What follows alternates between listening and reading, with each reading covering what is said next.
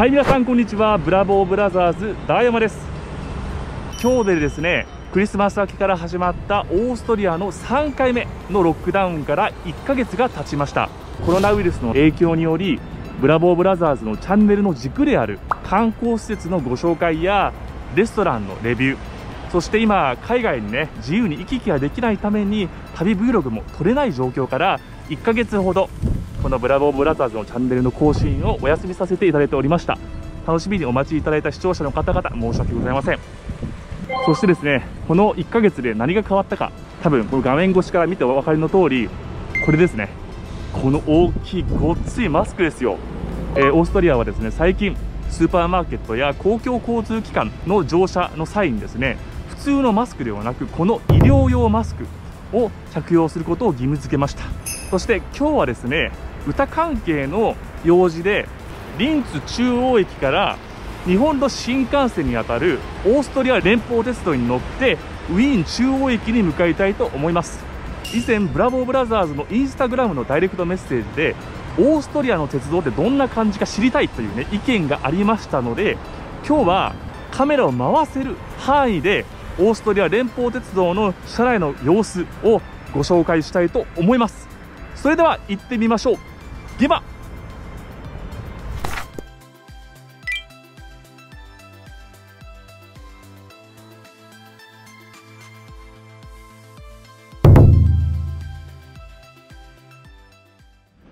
はいただいま駅に到着しました。えまずですね日本の新幹線と比べて違うこと1つ目。ホームの下のとこなんですけどもこちらに例えば何号車とかのぞみが止まりますよこだまが止まりますよっていうような表示がないことですね。それがない代わりにですねオーストリアの鉄道の駅に設置されてるのはこちらですね。2って書かれてるのが日本の新幹線でいう普通車。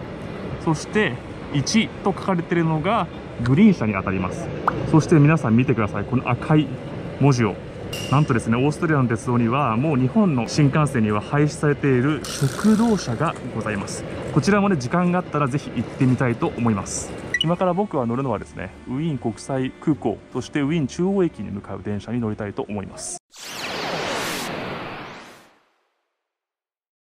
はい間もなくオーストリア連邦鉄道がホームに進入します。かっこいいな。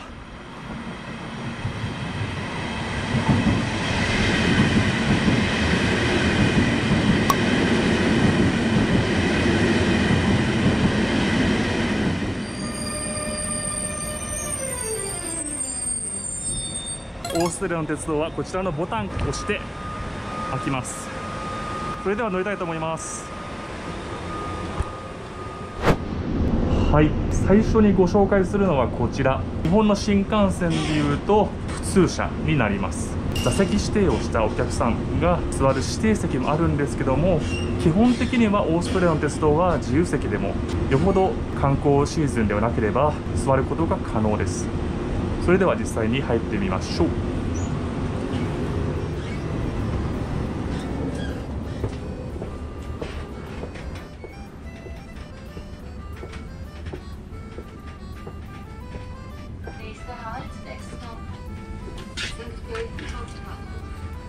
はい実際に座りました。席としてはねこんな感じなんですけどもすごく日本の新幹線と違って一つ一つの窓が大きいですよね。そしてここにテーブルがあってでこの下にはですねちゃんとこのようにですねここを引いてドリンクとか置くスペースも確保されています。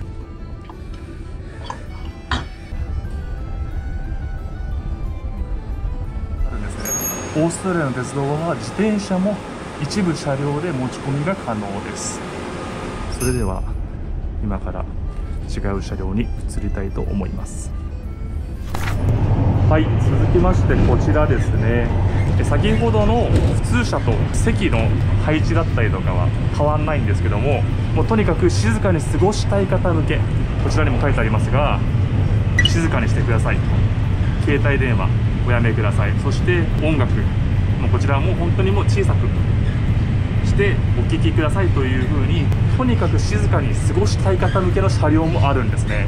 これは日本にはないですよね、まあ、こちらはねそういう車両なんで中には今は入りませんがこんな感じになっております。はい。続きましてこちらはですね家族向けの車両っていうのがオーストリアの鉄道の中にはあります。さてどんな感じなのか見てみましょう。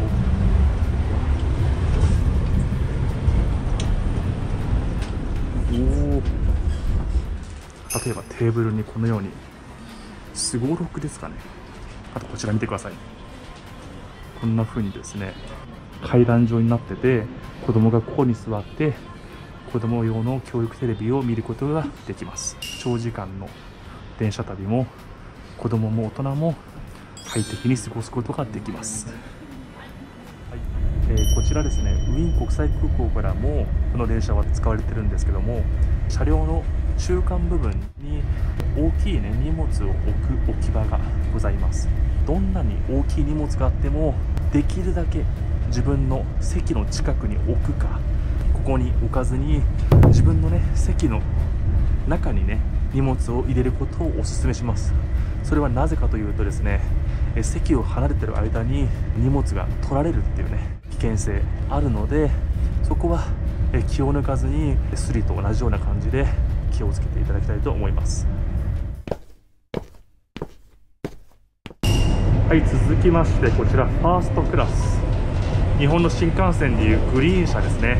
中であんまりね喋ることができないので今先にお話しするんですけども、まあ、こんな風にですね席間がかなりスペースがあって席もねファーストクラス仕様になって座り心地がよく設計されています。少し通ってみましょう。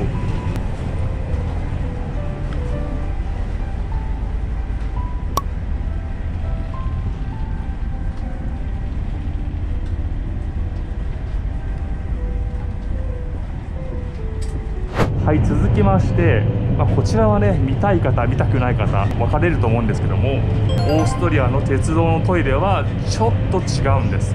見たい方は見てください。開けますとですね見てください。こんな風にですねオーストリアの自然が描かれてこのオーストリアの自然を背景にお化粧直しとかできたりとか手洗いそして今こちらですね消毒液。大事ですね。っていうふうなこれも日本の新幹線にはない。違った点ですね。失礼します。はいそれではですねまた違う車両に移っていきたいと思います。はいただいまですね電車は時速200キロで走行しています。日本で一番速い新幹線はのぞみ300キロですけども。まあ200キロ。そんなに速くはないんですけどもただ乗り心地としてはすごく揺れも少なくて快適です。はいそして最後にお待ちかねの食堂車にやってきました。見てください。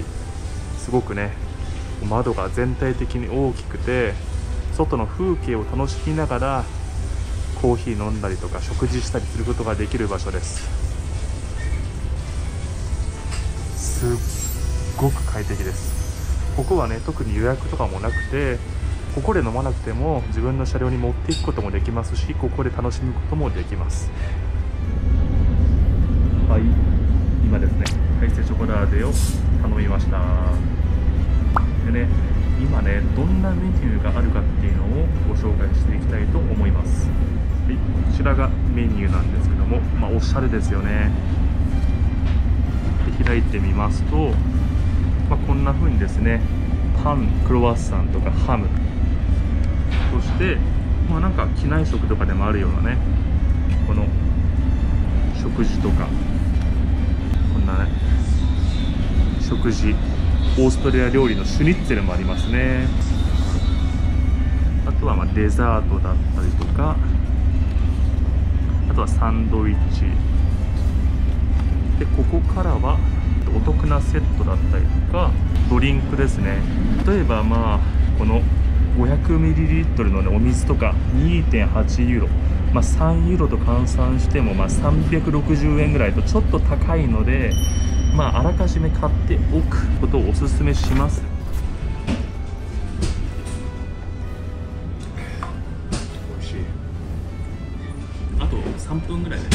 中央駅に到着します。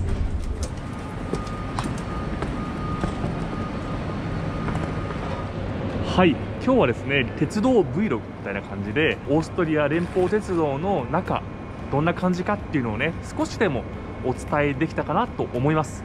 オーストリアに早く行きたい旅行行きたいっていうね観光客の方が日本にたくさんいらっしゃると思います。ただね在住者から見るとまだもう少し辛抱が必要かなと思います。このロックダウンがまた収まって海外に自由に行き来できるようになったら例えばウィーンからザルツブルクに最安で行ける方法など観光客の皆さんに役立つ情報をお届けしようと考えていますのでぜひ興味のある方はチャンネル登録よろしくお願いします。それではウィーンからブラボーブラザーズ大山でした。皆さんお元気で。チュース。